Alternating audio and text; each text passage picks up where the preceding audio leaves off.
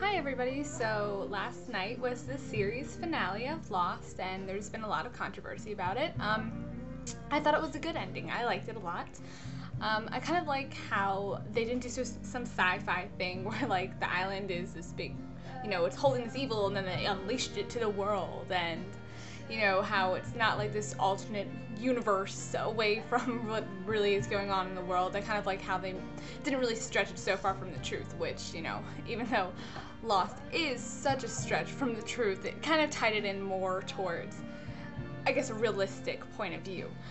Um, I don't know, I really enjoyed it. Um, I kind of like how they started it kind of the way that they ended it. It came full circle with Jack, the most obvious with Jack his eye opening in the very first episode to you know the start of Lost to all of this and how it ends with him very slowly closing his eye and accepting that he's dead and dying and letting the island go and letting himself move on past it.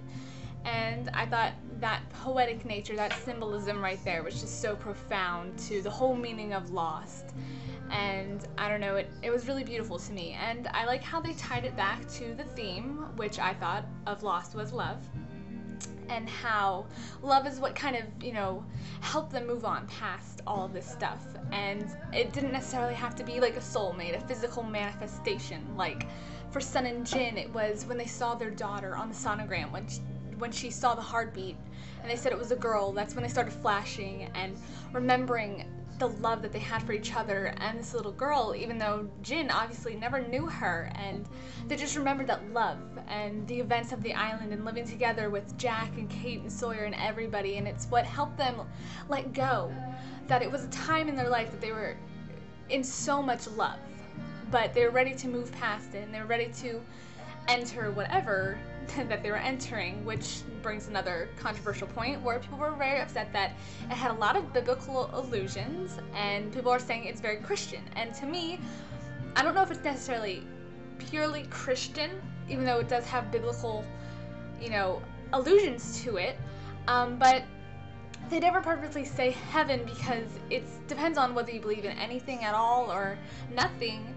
Um, it's their soul or their memory or this energy that every human has that you can't deny. It's that letting go. Whether it's going to heaven or just disappearing completely, that's that's what that warm light was at the end. Even though it was a church and people are like, no, it's definitely heaven that they were going to. Um, I think the reason they didn't say it is so that people can kind of broaden that to whatever they think that paradise or wherever they were going to was. Um, I thought it was it was very nice. It was a very way a very good way to end it, and how everybody got together and it connected everybody from the first season, minus Michael and Walt. And I liked people are kind of confused about the Ben thing, and my theory is the reason that Ben didn't go into the church was because he was waiting for his daughter, for her to let go and move on, and because he is a part of her life. She he's a such a connection to her and not necessarily the group of Lost. I mean, he's obviously connected to Hurley, and you see that right there when he says you were great number two. And you can see that connection, but he wasn't necessarily connected so profoundly to everybody else like all of them were in that church, where everybody was touched by each other. There was a connection there. They were a family.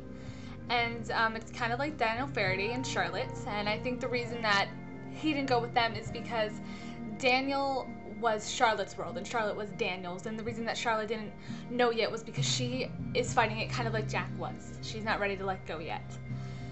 And she's waiting for him, for Daniel, and possibly, you know, I don't know, other people that possibly were important to them.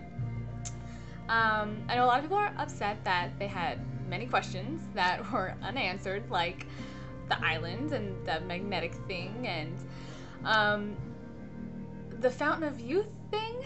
I mean, what is that? People were kind of upset that they didn't answer that. And the Black Smoke. I mean, not the Black Smoke, what am I saying? Jacob's Cabin. Um, they didn't answer that. And um, I don't know. I think the reason they didn't do that was because they're leaving it up to your interpretation to conclude it the way you want to conclude it. I mean, it obviously ends with them all dying, but everything ends with death, and they're leaving it up to your interpretation, and that's why they don't show you what the others that get off on that plane do when they get off on that plane. It's how you're gonna kind of connect it. Like, do you think that Kate stays always waiting for Jack and helps Claire raise Aaron? It's just those two waiting to meet their soulmates again. And what does Sawyer do? Does he become a cop? Um, they leave it up to your interpretation to see how they would live because that's not the point of Lost. The point of Lost was not the importance of the island and all of the questions and all the mystery to it. The importance is of the people and how they all stayed connected. Kind of like what Jack said you either live together or die alone. And they died together, kind of. Well, moved on together. I mean, obviously they died alone, but they move on together, which was so profound, I think, to the whole arc of Lost. And I don't know, I thought it was really nice. Um, so tell me what you think. Did you love it? Did you hate it? Did you cry for about an hour and a half like I did? So I don't know. I would love to hear your comments, so put a comment down below, down here, and get back to me. Alright, bye guys.